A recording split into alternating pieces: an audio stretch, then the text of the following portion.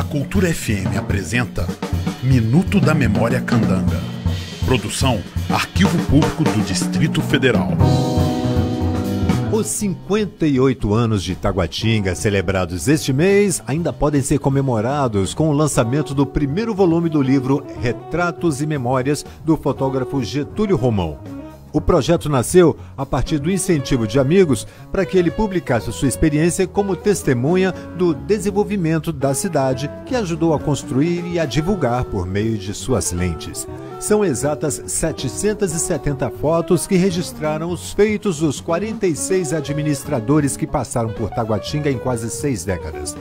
Outros 28 registros que fazem parte do acervo do arquivo público ajudam a contar essa história. Vai de José Maciel Paiva, administrador que assumiu em junho de 1958, ao atual gestor Ricardo Lustosa Jacobina, a maior parte desses registros foi feita no período em que Getúlio Romão atuou como repórter fotográfico entre 1963 e 85, 20 deles trabalhando na sucursal do Correio Brasiliense em Taguatinga. O livro é o seguinte: Retratos e Memórias.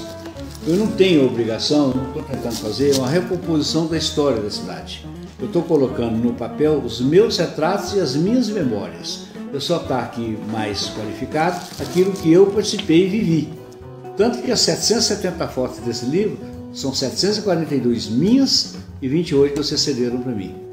Nascido em Itaiomi, interior de Minas, desde dezembro de 1960 que Getúlio Romão vive em Taguatinga, onde chegou em busca de oportunidade do sonho desenvolvimentista idealizado por Juscelino Kubitschek.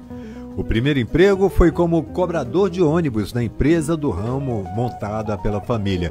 Sua relação com a imagem começou em 1962, quando o pai montou um estúdio de fotografia e não parou mais. Viemos para Brasília para ter uma empresa de ônibus. Aí o negócio deu certo, meu pai voltou às origens. Meu pai sempre foi um fotógrafo de estúdio. O estúdio dele sempre foi uma referência nacional. Instalou foto em 1962 e eu, ainda de menor, fui ser fotógrafo externo. E nunca larguei. Eu, todos os jornais alternativos da cidade usam o meu material. Então por isso eu tenho um acervo grande. Porque tudo, qualquer coisa que se publica em Brasília, em Taguatinga, se tem foto, é Getúlio. Aos 71 anos, Getúlio Romão tem planos para lançar outros quatro volumes do projeto Retratos e Memórias. Os temas já estão definidos em sua cabeça. No próximo livro, por exemplo, o pioneiro irá abordar em 450 fotos a importância da Associação Comercial e Industrial de Taguatinga. Além de milhares de fotos de seu acervo, o autor usou como fonte de pesquisa os jornais alternativos de Taguatinga. O material produzido como fotógrafo da sucursal do Correio Brasiliense na cidade também foi pesquisado. Um acervo riquíssimo que Getúlio Romão pretende doar breve ao Arquivo Público do Distrito Federal. Eu vou entregar esse arquivo para vocês. Eu vou doar para vocês é, todo o arquivo que eu digitalizei. Eu cheguei aqui em 60, eu estudei, criei meus filhos aqui, estão todos bem criados, e eu acho que eu devo isso para a cidade. Estou devolvendo à cidade um pouquinho do que eu ganhei, do que eu recebi. Meu livro vai estar em todas as livrarias de Brasília, as principais. Você vai poder comprar no aeroporto, no aeroporto nacional, no shopping, onde você for.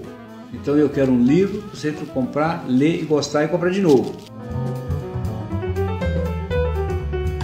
Escute sempre na sua Rádio Cultura FM notícias, informações e histórias da construção de Brasília e de seus heróis, selecionadas pelo Arquivo Público do Distrito Federal. O Arquivo Público fica localizado no setor de garagens oficiais Norte, quadra 5, lote 23. Visite nosso site www.arpdf.df.gov.br. Telefones 3361 7739 3361 1454. A Cultura FM apresentou Minuto da Memória Candanga. Produção Arquivo Público do Distrito Federal.